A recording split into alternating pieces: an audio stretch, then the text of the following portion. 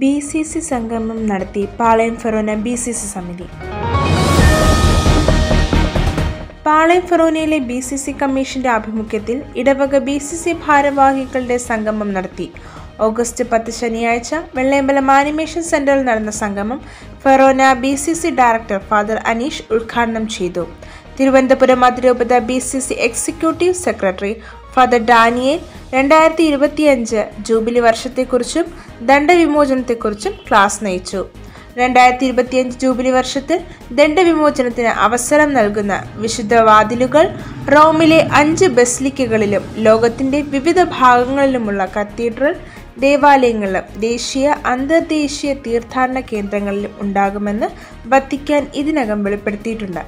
Jubilee വർഷം ദണ്ഡവിമോചനം വിശ്വാസികൾക്ക് എപ്രകാരം സ്വീകരിക്കാം എന്നതിനെക്കുറിച്ചും വിശ്വാസികൾ പ്രത്യാശയോടെ തീർത്ഥാടകരാകുന്നതിനെക്കുറിച്ചും ക്ലാസ്സിൽ വിവരിച്ചു.